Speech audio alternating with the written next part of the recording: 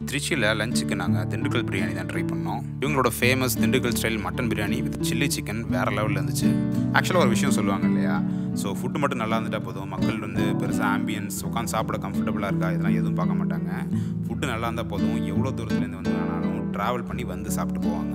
இதுக்கு ஒரு பர்ஃபெக்ட் எக்ஸாம்பிள்னு இந்த கடையை கூட சொல்லலாம். ஏன்னா திருச்சி வெயிலையும் பொருட்படுத்தாமல் அங்கே அவ்வளோ பேர் வந்துட்டு நின்றுட்டே கூட சாப்பிட்டுட்டு இருந்தாங்க.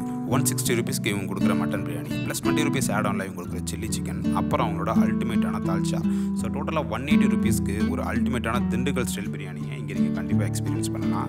ஸோ என்கிட்ட பர்சனலாக கேட்டிங்க அப்படின்னா வந்துட்டு இங்கே நீங்கள் பார்சல் வாங்குறது வந்து ஆக்சுவலாக பெஸ்ட்டு ஏன்னா டூ ஹண்ட்ரட் கிலோமீட்டர்ஸ் கிட்ட நாங்கள் பைக்கில் ட்ராவல் பண்ணிவிட்டு அந்த வெயில் நின்று சாப்பிட்றது எங்களுக்கு ரொம்பவே கஷ்டமாக இருந்தது. பட் ஸ்டில் இவங்களோட குவாலிட்டி ஆஃப் ஃபுட் அண்ட் டேஸ்ட்டுக்கு it's completely worth it so நீங்கள் திருச்சி பக்கம் போனீங்கன்னா மறக்காமல் இந்த கடையை செக் பண்ணி பாருங்கள் famous youtubers like Irfan's view அப்புறம் நிறைய ஃபுட் ரிலேட்டட் யூடியூப் சேனல்ஸ் இந்த கடைக்கு ஆல்ரெடி நல்ல ரிவ்யூ கொடுத்துருக்காங்க. இந்த கடையோட லொக்கேஷனையும் நான் டிஸ்கிரிப்ஷனில் கொடுக்குறேன். இன்கேஸ் நீங்கள் போனீங்கன்னா மறக்காமல் செக் பண்ணி பாருங்கள்